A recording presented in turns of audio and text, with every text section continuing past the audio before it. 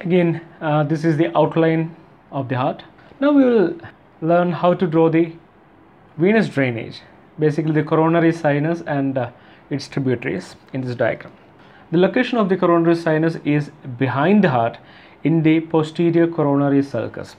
So I will drawing whatever is not seen from anterior in dotted lines. So here the coronary sinus is a fusiform shaped structure which is located in the posterior coronary sulcus and its right end is opening into the right atrium.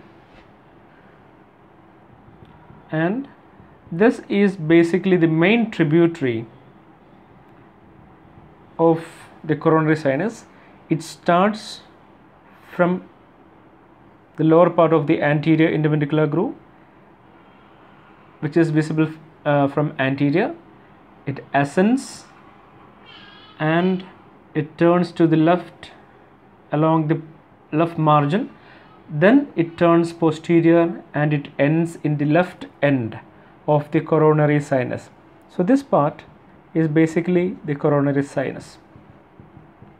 And there is another tributary which is running along the right marginal artery from there it turns to the inferior border. And then it turns to the posterior coronary sulcus and it ends in the right end of the coronary sinus. So this is one another another tributary of the coronary sinus. So basically the coronary sinus is a continuation of the great cardiac vein. In fact that is the largest tributary of the coronary sinus and we said that morphologically the coronary sinus is the continuation of the great cardiac vein.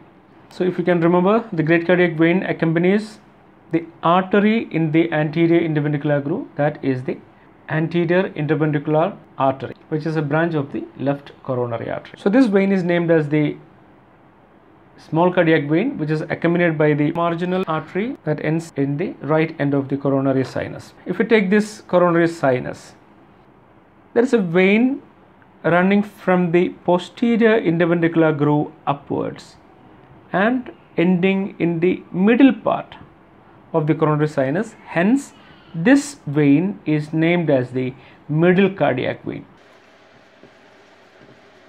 It receives a vein from above from the posterior aspect of the left atrium. That is named as the oblique vein of the left atrium this is a small vein from the uh, posterior aspect of the left ventricle. So this is the major formation of venous drainage. And there are also some small veins which are directly draining into all the chambers. So these veins are named as venae cordis minimae these venae cordis minimae are numerous in number and they drains into all the chambers of the heart thank you